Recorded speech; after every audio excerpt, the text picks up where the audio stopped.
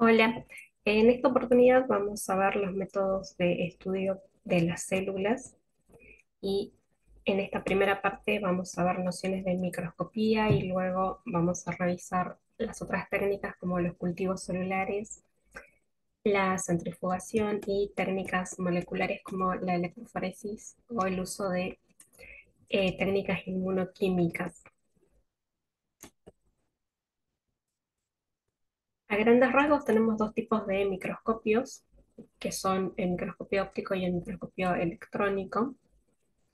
Dentro del microscopio, de lo que serían los microscopios ópticos, tenemos microscopios simples o lupas y microscopios compuestos, es decir, con dos sistemas de lentes, que pueden ser microscopios de campo claro, campo oscuro, de contraste de fases o de fluorescencia.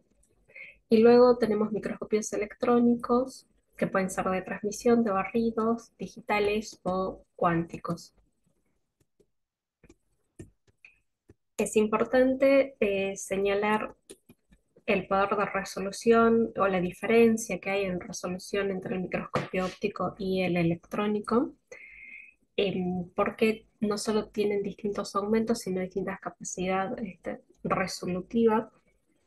Por supuesto, el microscopio electrónico tiene mayor capacidad de aumento y permite apreciar, eh, digamos, partículas o microorganismos mucho más pequeños. Con la microscopía óptica podemos ver eh, inclusive pequeñas este, organelas como los cloroplastas que pueden estar en el orden de unos, eh, una micra, pero con el microscopio electrónico podemos observar la ultraestructura de la célula, la estructura de la membrana e inclusive pequeñas moléculas y átomos. Recuerden que el poder de resolución es la capacidad para eh, identificar como dos objetos separados em, a dos eh, partículas, digamos, que están separadas a una determinada distancia, que por supuesto es mayor en el microscopio em, electrónico. Acá tenemos especificada la diferencia que hay entre lo que sería el funcionamiento del microscopio óptico, que va a funcionar con una fuente de iluminación y una primera lente condensadora, funciona con un haz de luz que atraviesa la muestra y luego esa luz atraviesa la lente objetivo para llegar a el, el observador. En cambio, en los microscopios electrónicos tenemos fuentes de electrones que son dirigidas por bobinas electromagnéticas, que en un caso, que es el microscopio de transmisión, ese haz de electrones atraviesa la muestra y en el microscopio de barrido, ese haz de electrones rebota en la muestra.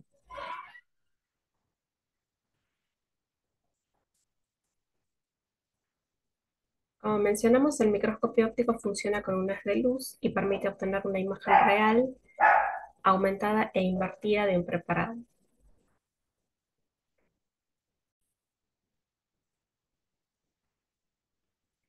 Permite aumentar las imágenes de 50 eh, a 1000 veces el tamaño real y los preparados consisten en secciones muy finas de una muestra que pueden requerir algún tratamiento previo para su observación, por ejemplo, tinción o fijado, deshidratación. Eh, y la muestra se coloca sobre un vidrio portaobjetos y puede o no cubrirse con un vidrio que se denomina cubreobjetos. El microscopio óptico tiene una resolución teórica de unos 200 nanómetros o de 0,2 micras, que normalmente, digamos, esto no se alcanza, pero se puede corregir eh, de forma digital, por ejemplo, y llegar a esta resolución teórica. Acá tenemos un esquema de lo que es el microscopio óptico, donde es importante señalar que tiene que tener una base firme, eh, digamos, eh, si uno alza un microscopio va a notar que es pesado. Esto es porque hay que em, proteger al sistema de lentes, justamente el microscopio tiene que estar bien apoyado sobre una base firme eh, para que las lentes eh, funcionen de manera adecuada. Tenemos una base, eh, un condensador, un diafragma que van a dirigir la luz, que por lo general está aquí, la fuente de iluminación. Luego tenemos un soporte, que es, un- o sea, un sistema de soporte que es la platina, que puede tener pinzas, que puede tener, eh, puede ser móvil, es decir, permitir el desplazamiento de esa platina. eh, o de, esta- este sistema de, de pinzas. Esto sirve para sujetar el vidrio eh, donde colocamos las muestras, para que podamos justamente recorrer la muestra y observar las distintas partes.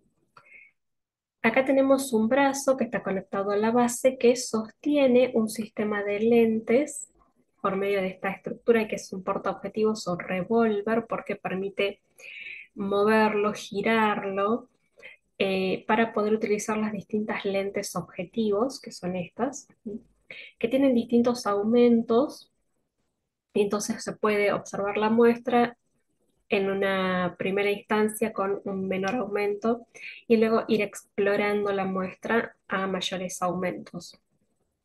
Y luego tenemos un cabezal que sostiene dos lentes oculares que también aumentan aún más eh, eh, el tamaño de la imagen.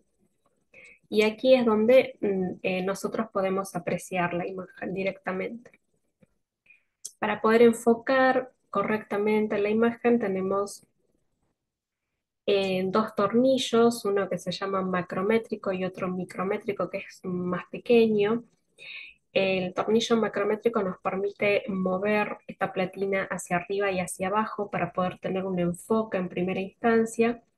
Y el tornillo micrométrico permite movimientos mucho más pequeños, más delicados, eh, para enfocar con mayor precisión la imagen. El microscopio nos permite tener una imagen aumentada porque la luz atraviesa estos dos sistemas de lentes.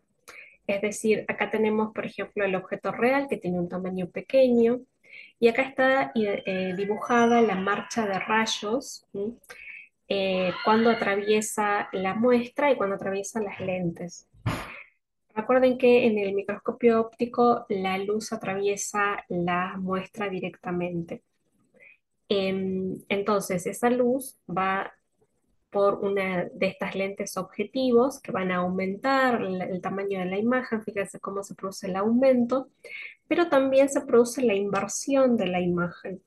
Fíjense cómo tenemos los núcleos de este leucocito. Eh, y aquí lo tenemos dado vuelta literalmente. Entonces, esto es una imagen real, pero invertida, aumentada. Y luego esta misma, esa misma luz atraviesa la lente ocular y a, a partir de ahí se magnifica todavía más la imagen. Entonces, ahí llega al observador. O sea, es una imagen aumentada, invertida, real.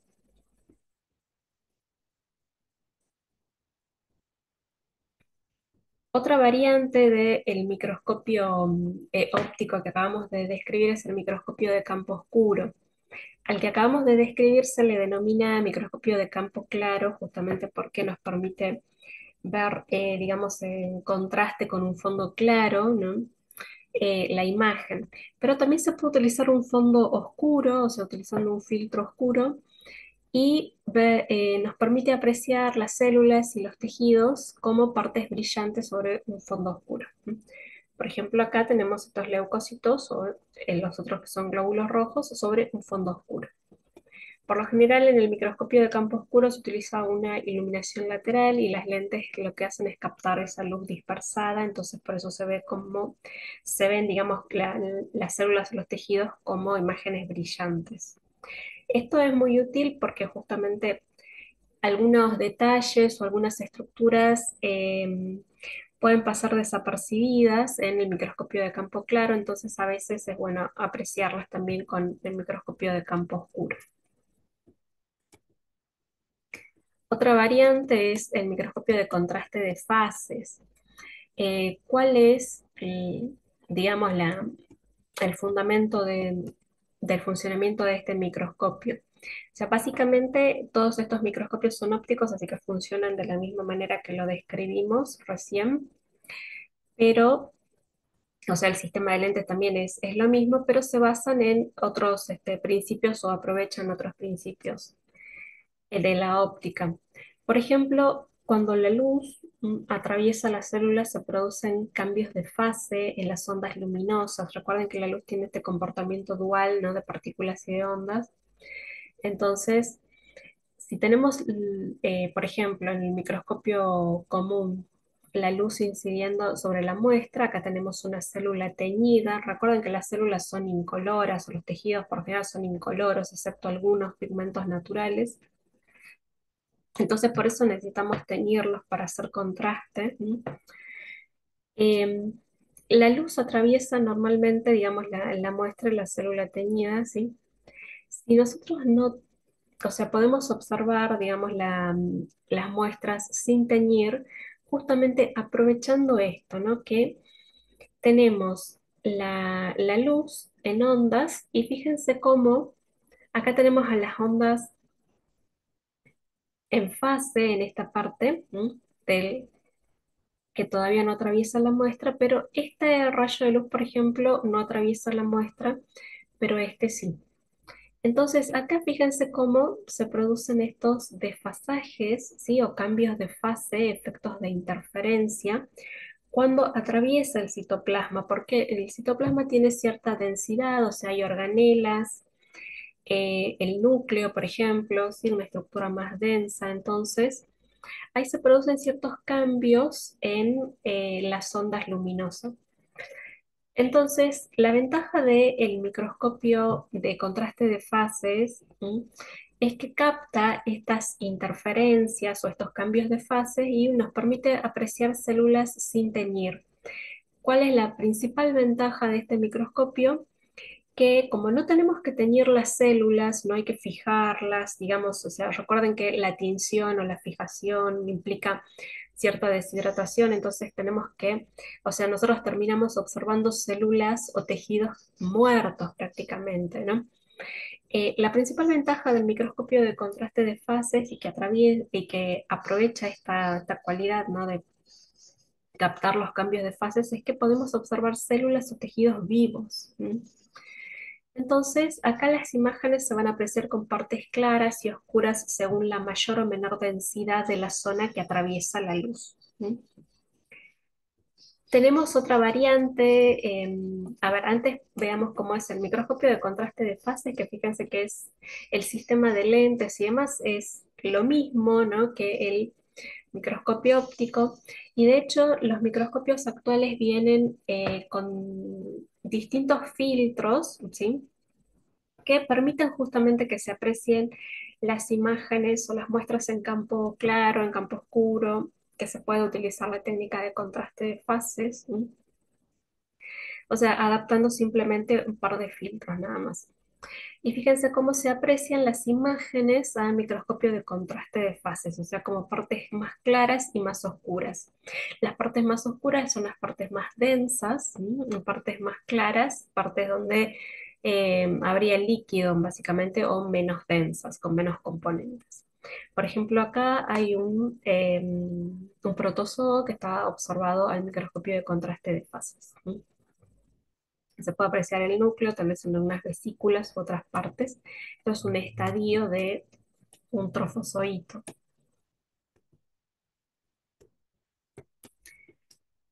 Otro microscopio que utiliza un eh, principio similar, o sea que también es un microscopio de contraste de fase, es el microscopio de contraste de fase interferencial o también le llaman microscopio de interferencia que la diferencia con el anterior es que usa filtros polarizadores, o sea, usa luz polarizada, ¿no? Acuérdense que es luz que vibra en un solo plano. También nos permite observar células eh, vivas, sea, es la gran ventaja que tiene. Y fíjense acá la diferencia, ¿no? Tenemos las mismas imágenes, pero observadas eh, arriba con el microscopio de contraste de fases y abajo con el microscopio de interferencia, que se ven como si tuvieran como un relieve, digamos, pero son las mismas imágenes. Por ahí algunas partes nos permiten, o sea, eh, nos permiten que observemos ciertos detalles que en otros no, o tratar de entender mejor qué es lo que estamos viendo. em, en esas, en esas muestras o en esas células. Estas imágenes también em, se pueden manipular, o sea, no manipular, sino corregir, ¿no? De em, procesar de manera digital. Y esto permite mejorar la resolución del microscopio óptico. Es decir, yo le dije que el límite teórico no se alcanzaba en la práctica, pero con este procesamiento digital sí, porque digamos, todas estas imágenes eh, producen justamente o tienen, digamos, cuando son captadas de forma digital, cierto ruido de fondo que se puede justamente corregir. Entonces se puede alcanzar el límite teórico y podemos tener un gran poder de resolución con los microscopios. Eso, digamos, se ha logrado eh, actualmente, ¿no? O sea, también se puede filmar, digamos, la- las células vivas, sea, que ofrecen grandes ventajas para observar tejidos y células. Eh, otro eh, tipo de microscopio es el microscopio de fluorescencia, que también es un microscopio óptico y que también se puede adaptar, digamos, este, los filtros para que eh, eh, podemos eh, observar las imágenes con esta tinción especial. Em, ¿en qué se basa esto? En la fluorescencia natural que tienen algunas sustancias, que, que eso le vamos a denominar fluorescencia primaria, o bien una fluorescencia inducida, justamente secundaria, mediante el uso de colorantes, o sea, mediante tinción con fluorocromos. Em, ¿qué serían estos colorantes fluorescentes o qué es este fenómeno de fluorescencia? Recordemos que estos compuestos o colorantes pueden absorber la longitud, la, la luz, ¿sí? a una longitud de onda, pero van a emitir luz a otra longitud diferente que por lo general es más larga. Entonces, por eso se ven, digamos, esos eh, colores, ¿no? Em, digamos así, fluorescentes, brillantes. Ese es el fenómeno de fluorescencia, que acuérdense que es un fenómeno natural. Eh, pero que también podemos utilizar algunos colorantes que, eh, digamos, nos sirven para hacer estas observaciones. Básicamente, ¿cuál es la diferencia con los otros microscopios? Esto utiliza dos sistemas de filtros. Eh, el primer filtro eh, deja pasar longitudes de onda que excitan al colorante, ¿sí? Antes de que llegue a la muestra. Es decir, estos colorantes, eh, digamos, van, van a actuar o van a emitir ese color justamente con absorbiendo ciertas longitudes de onda, ¿sí? Eh, entonces lo que hay que hacer es filtrar la luz para que pase solamente esa longitud de onda. Y luego vamos a tener un segundo filtro que va a bloquear esa luz y que va a permitir solamente que pase la longitud de onda mayor que emite el fluorocromo. Esto nos va a permitir localizar moléculas o componentes específicos de la célula. ¿Cuál sería el principio? Acá tenemos eh, esquematizado lo que es eh, una fuente de luz donde eh, la luz, digamos, va con distintas longitudes de onda, atraviesa este primer filtro, que está aquí como amarillo, y que deja pasar solamente las longitudes de onda que excitan a este colorante fluorescente. Y fíjense que hasta aquí no toca la muestra, ¿no?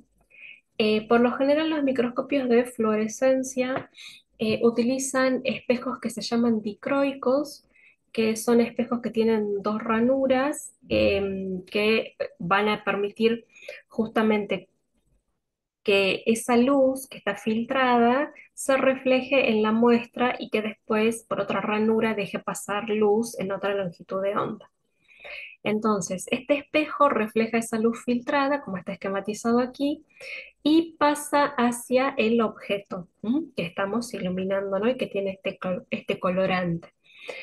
Acá está lo que queremos observar. Entonces, eh, le llega esa luz que excita al colorante fluorescente y el colorante va a emitir luz en una longitud de onda mayor.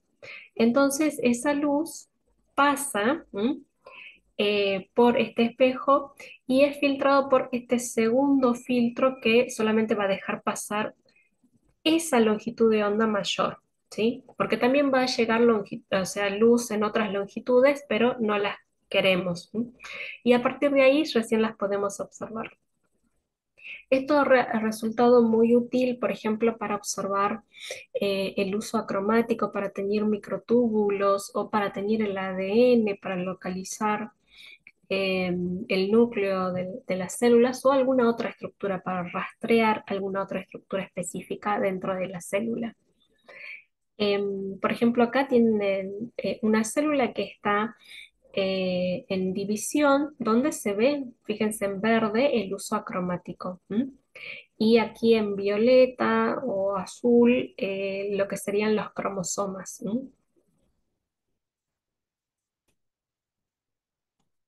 Otro tipo de microscopio es el microscopio confocal, que eh, a diferencia de los anteriores, utiliza justamente un láser. O sea, es un microscopio de barrido confocal. ¿Por qué? Porque este láser barre toda la muestra, enfocando un punto luminoso en una profundidad determinada cada vez y permite construir una imagen tridimensional. Por ejemplo, acá tenemos una imagen obtenida con fluorescencia donde no se aprecian muchos detalles. Eh, sin embargo, cuando utilizamos el microscopio confocal que nos permite barrer, digamos, en determinados puntos y en determinadas profundidades ¿no? en la muestra, em, podemos obtener mayores detalles que no se aprecian. ¿no? Por ejemplo, esta es eh, la imagen de un embrión de drosófila donde si se fijan acá en la primera imagen no se ven mayores detalles. Acá se utilizó tinción eh, fluorescente y sin embargo con el microscopio confocal, haciendo este barrido a determinadas, distintas profundidades con este láser, eh, se aprecian justamente eh, lo que está teñido, que son células. ¿No? Fíjense que están ahí los bordes de las células y eso, por ejemplo, no se aprecia ¿no? en el otro microscopio convencional. Entonces, nos ofrece esta ventaja de generar imágenes, digamos, eh, tridimensionales o con una apariencia tridimensional, entonces tenemos más detalles. El otro tipo de microscopio es el microscopio electrónico, que a diferencia de los microscopios ópticos usan haces de electrones. El microscopio electrónico de transmisión, que es este que estamos viendo acá, suele ser un poco más grande, tiene un tubo eh, grande que genera vacío, que por lo general mide casi dos metros. Ese haz de electrones que se genera atraviesa la muestra y hay dentro de este tubo una serie de bobinas eh, electromagnéticas que van a enfocar el haz de electrones, es decir, se utiliza alguna fuente de electrones y hay que dirigir ese haz de electrones hacia la muestra y no, eh, digamos, permitir que se disperse por cualquier lado. Entonces tenemos esas bobinas electrónicas que van, eh, bobinas magnéticas, perdón, que van a dirigir el haz de electrones para que atraviese la muestra una parte de los electrones se dispersan, pero otra parte sí se enfocan y esto nos permite em, formar una imagen sobre una pantalla. La resolución teórica que tiene el, em, el microscopio electrónico es de 0,02 angstroms. O sea, fíjense que logra em, un aumento de imágenes muchísimo mayor que el microscopio óptico. Por ejemplo, el microscopio de Em, de em, transmisión logra un aumento de unas 750.000 a un millón de veces lo que es la imagen. O sea, aumentos de hasta un millón de veces ¿sí? del tamaño de las muestras. La resolución real que alcanza en la práctica es de 1 a 2 angstroms. Em, recuerden que para calcular la resolución teórica se utilizan eh, datos sobre la apertura numérica, el índice de refracción del, medio, si en el que se está observando la muestra y demás, entonces por eso tenemos cálculos eh, teóricos, ¿sí? Pero en la práctica, eh, digamos, a veces no se alcanzan esas, esas resoluciones por ciertos artefactos mismos de la técnica. Pero fíjense la diferencia, ¿no? Teníamos aumentos de hasta unas mil veces con el microscopio óptico y acá tenemos aumentos de hasta un millón de veces. Es decir, el microscopio electrónico con esto nos va a permitir resolver la estructura fina de la célula. Con el microscopio óptico nosotros podemos observar la estructura general de las células o de los tejidos, digamos que es más útil para ver lo que son los tejidos, ¿no? Y alguna que otra estructura, digamos, este, de la célula, como por ejemplo el núcleo, los cloroplastos y demás, o tal vez apreciar la- las divisiones celulares.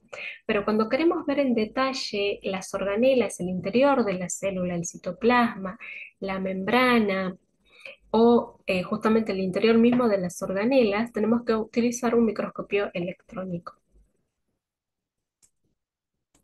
Acá también está la misma imagen que hemos visto hace un momento, donde tenemos el microscopio electrónico de transmisión comparado con el microscopio óptico y el microscopio de barrido.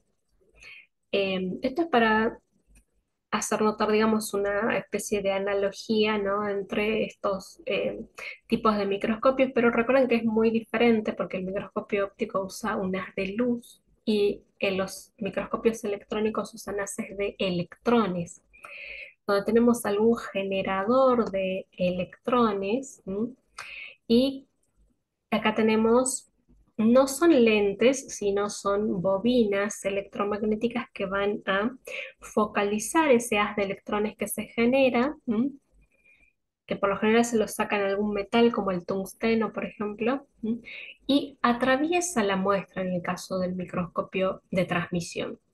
Y ese haz de electrones que atraviesa la muestra, o sea, recuerden que si eh, los electrones chocan contra una muestra, en algunas partes vamos a tener zonas más densas por las que tienen que pasar los electrones, en otras partes vamos a tener zonas eh, menos densas o con menos componentes, por ejemplo, citoplasma con organelas, ¿sí? Entonces, em, cuando se genera la imagen, las partes más densas se ven más oscuras y las partes menos densas se ven más claras.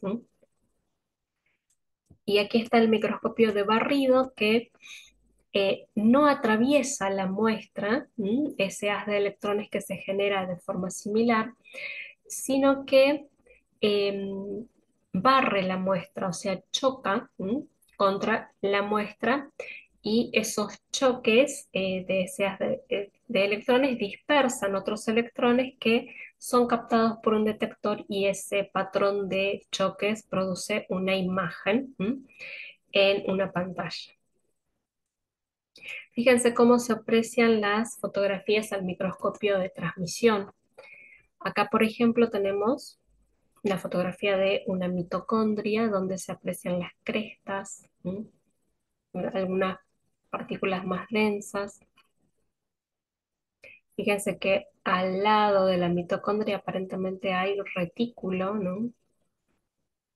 Y acá, por ejemplo, al lado vemos un cloroplasto, donde se ve todo el sistema de membranas internos y las partes más oscuras serían los, em, los tilacoides apilados, que son los grana. Fíjense que se aprecian bastantes detalles, ¿no? O sea, las membranas dobles que tienen estas organelas. Acá, por ejemplo, vemos lo que sería el complejo de Golgi, o sea, este sistema de cisternas es, o sacos aplanados. Con vesículas. Inclusive acá en la esquina hay una, una mitocondria. Y aquí, por ejemplo, tenemos em, dos secciones o dos perspectivas de lo mismo. Esto sería, por ejemplo, retículo eh, rugoso, retículo endoplasmático rugoso. ¿Cómo nos damos cuenta? Por que son todas estas membranas así aplanadas con un montón de ribosomas, que son esos puntitos negros, fíjense, adosados a la membrana. Y acá tenemos lo que sería como un corte transversal de esto, ¿no? eh, donde están justamente ven todas la- las vesículas, que serían justamente estas membranas así alargadas, que o sea que no son vesículas, ¿sí? y los puntitos negros alrededor, que son los ribosomas. Acá también, esta es otra mm, foto al microscopio electrónico de transmisión, que, donde se ve el núcleo celular rodeado por retículo y el nucleolo como una estructura más densa. La diferencia con el microscopio de barrido, que fíjense también eh, es más pequeño, es un microscopio que se puede tener, digamos, en un, en un escritorio, ¿no? Es más, em, digamos, más práctico también por ahí para trabajar. Em, es que utiliza unas de electrones que se refleja en la muestra, tiene eh, una resolución en la práctica de unos 10 nanómetros y logra aumentos de unas 200.000 veces, o sea, logra aumentos menores, pero aún así compensa, digamos, esta falta de, aumento eh, con la calidad de las imágenes, porque logra imágenes que son em, tridimensionales o que se ven tridimensionales, que dan ese detalle, digamos, porque las imágenes, o sea, que acabamos de ver con el microscopio de transmisión, si bien dan, o sea, grandes aumentos y podemos observar estructuras como el núcleo o el interior de las organelas, eh, son imágenes planas, ¿no? O sea, son como cortes así muy planos. Siempre son en blanco y negro. Si ven eh, imágenes a colores es porque han sido coloreadas digitalmente. Siempre son imágenes en blanco y negro. Em, la diferencia con el microscopio de barrido es que tenemos imágenes que parecen tridimensionales acá. Eh, para esto eh, se realiza algún recubrimiento, o sea, con algún metal pesado. Para las muestras que se tratan con el microscopio de transmisión también es necesario primero una fijación, con eh, glutaraldehído que une covalentemente las proteínas y con tetróxido de osmio. eh, que eh, une y estabiliza las bicapas lipídicas y las proteínas. Em, y luego esas se obtienen, em, o sea, es necesario eh, obtener secciones muy finas, ¿no? Que sean como de 50 o de 100 nanómetros, para lo cual hay que deshidratar las muestras, em, hay que infiltrarlas con resinas y luego hay que cortarlas con micrótomos para obtener esas eh, secciones así tan finas, de unos 50 o unos 100 nanómetros. Y luego se da ese tratamiento con justamente glutaraldehído y tetróxido de osmio, o también se ha- da un tratamiento con eh, sales de metales pesados como em, uranio o plomo. Em, con lo cual las muestras terminan, eh, o las células eh, terminan muriendo. O sea que acá la diferencia con el microscopio electrónico es que siempre vamos a observar eh, células muertas. en cambio, con el microscopio óptico se pueden observar células vivas.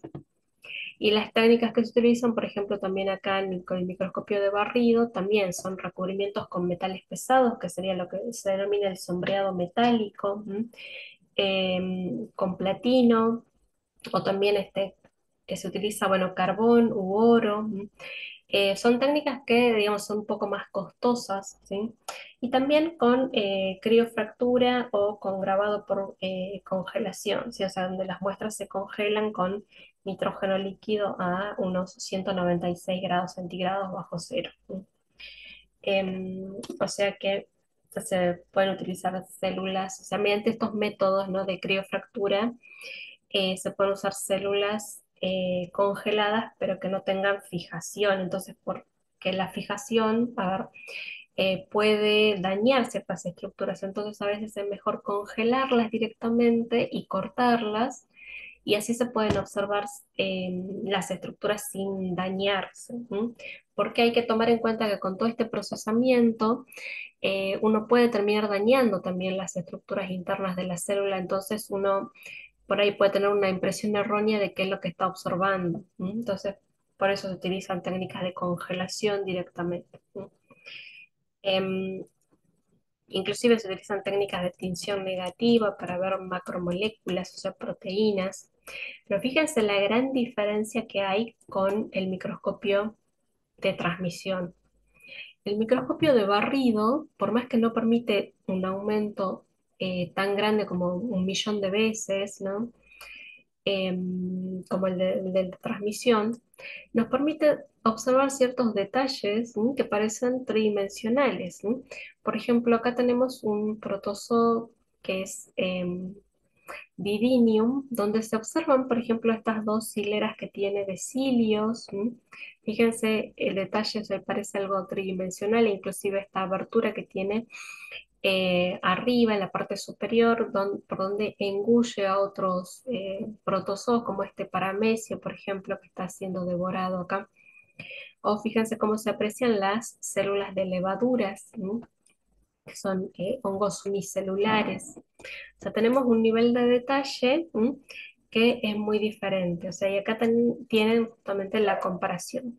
Cómo se ve esta misma muestra al microscopio de transmisión y al microscopio de barrido.